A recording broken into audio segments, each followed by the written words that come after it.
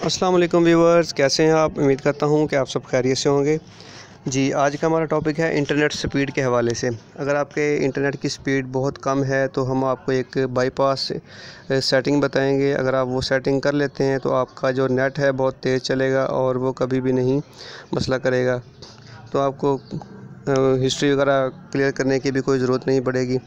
तो वीडियो में ज़्यादा लंबी नहीं करूँगा तो नए आने वाले तमाम तरह सब्सक्राइब जितने भी हमारे व्यूवर्स हैं, उनसे गुजारिश है कि हमारे चैनल को सब्सक्राइब करें। अगर वीडियो पसंद आए तो लाइक करें कमेंट करें और घंटी के निशान को भी दबा दें ताकि तमाम तरह नई आने वाली अपडेट्स आप तक पहुँचती रहें।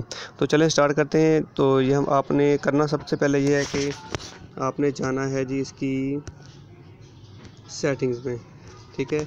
आपने सेटिंग में जाने के बाद आपने क्या करना है कि ये देखें जी, आपको यहाँ पे नज़र आएगा। सिम कार्ड बाज़ मोबाइल फ़ोन की सिम कार्ड में होती है सेटिंग ठीक है?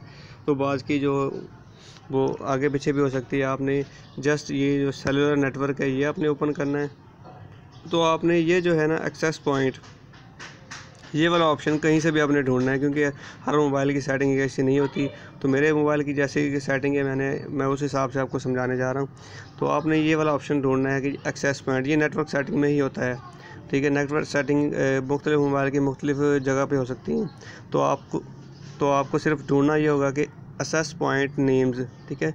आपने सिम वन है या सिम टू है, ठीक है? आपकी नेट की स्पीड पे कोई असर नहीं पड़ेगा।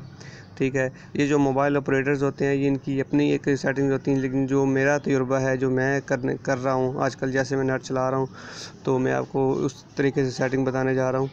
तो उसको फॉलो करके आपकी स्पीड जो है, वो तेज़ हो जाएगी। जो इनकी सेटिंग्स होती हैं, आप तजर्बा करके देख लेना, जब आप दूसरी सेटिंग पे चेंज करेंगे, वो सेट नेट की वो स्पीड नहीं आएगी, ठीक है? जो आप अपनी बाईपास सेट सेटिंग करोगे, आप उस पर जो स्पीड आएगी, वो तेज़ आएगी। और तो चलें जी स्टार्ट करते हैं। ये देखेंगे, आपने जाना है सबसे पहले ये असेस पॉइंट नेम ठीक है? ये आपने ओपन करना है। ओपन करने के बाद ये देखेंगे, मैं पहले ऑलरेडी तमाम तो सेटिंग्स बना के रखी हैं, लेकिन आपकी सहूलत के लिए मैं आपको नई सेटिंग बना के दिखाऊँगा। आपने करना है जी प्लस पे निशान, ठीक है? प्लस के निशान पे क्लिक करना है। बाज़ दफ़ा दूसरे मोबाइल पे लिखा होता है जी ऐड न्यू आपने ऐड न्यू पे क्लिक करना है। यहाँ पे आपका है जी प्लस ये जी आ गया प्लस फ़र्स्ट में आ जाता है जी नेम। नेम में आपने लिखा है जी। अपना नाम, अपना नेम भी आप लिख सकते हैं, लेकिन आपको बेहतर ये लगेगा कि रहेगा आपने इसमें लिखना है जी। फॉर एग्ज़ाम्पल मैं करना हूँ यू फ़ोन की। ठीक है यू फ़ोन की सेटिंग कर रहा हूँ। आपने यहाँ पे लिखना है कि यू फ़ोन इंटरनेट ठीक है यू फ़ोन है तो आप यू फ़ोन लिख लें। You phone you phone internet यहाँ पे आपके स्पेलिंग गलत भी हो जाएँगे तो कोई मसला नहीं है, ठीक है? यो फ़ोन इंटरनेट, जैज़ लिख रहे हैं तो जैज़ इंटरनेट, जैज़ कनेक्ट लिख लें, ठीक है, या मोबिलिंग कनेक्ट लिख लें, ठीक है। जोंग की है तो जोंग इंटरनेट लिख लें, टेलनॉर है तो टेलनॉर की आप लिख लें, अगर एससीओ है तो एससीओ लिख लें। एससीओ ये आज़ाद कश्मीर वाली साइड पे चलती है, स्पेशल कम्युनिकेशन की सिम होती है ये तो ये आमतौर पे नहीं होती, लेकिन उसकी भी सेटिंग आप वैसे ही करेंगे, आज़ाद कश्मीर वाले। तो जो फ़ोन इंटरनेट लिख लिया मैंने इसको हम कर इस, इसको करेंगे ओके और आगे आपने लिखना है जी ए पी एन बस ये आखिरी स्टेप है हमारा।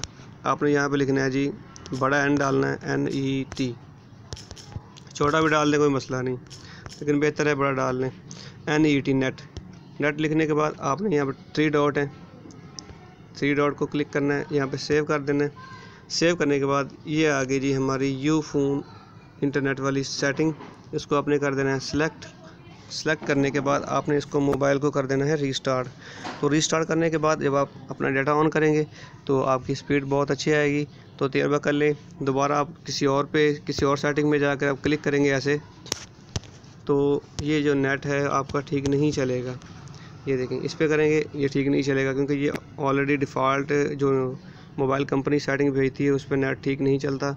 जो आप खुद बनाएँगे, जैसा कि ये मैंने बना के दिखाई है आपको, यूफोन इंटरनेट, इस पर आपका नेट बिल्कुल ठीक चलेगा। ठीक है? तो उम्मीद करता हूँ आपको वीडियो पसंद आई होगी। वीडियो पसंद आई है तो लाइक करें, शेयर करें, कमेंट करें और अपनी दुआ में याद रखें। अल्लाह हाफिज़।